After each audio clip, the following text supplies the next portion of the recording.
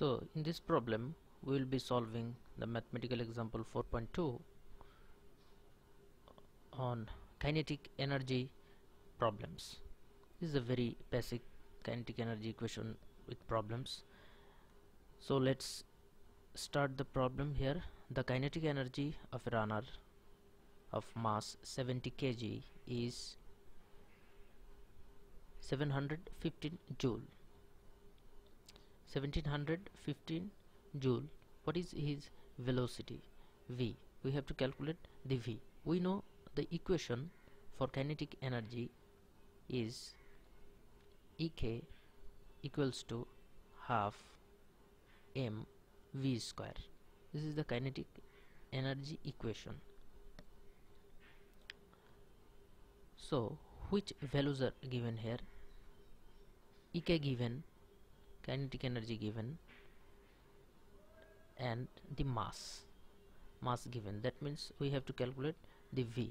So if we simplify this formula then we get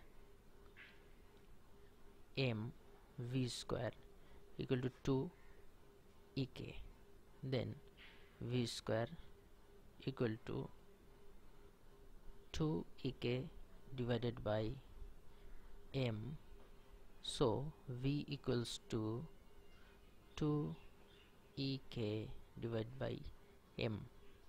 And now we have to put all the values here which is you can see here.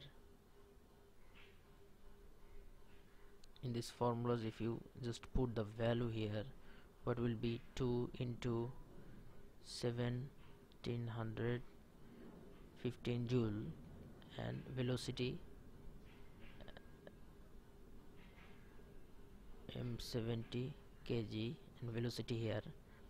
And you just solve this equation and you will get what you will get? The velocity. It will be 7 meter per second. And that's the answer